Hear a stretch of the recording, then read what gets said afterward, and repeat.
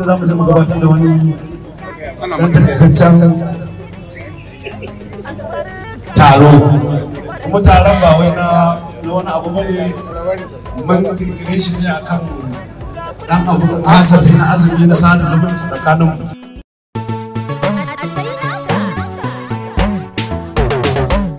tatin tatin. Faɗa musu alkhairi ne. Albarka ce a yanzu ƙwarai ta.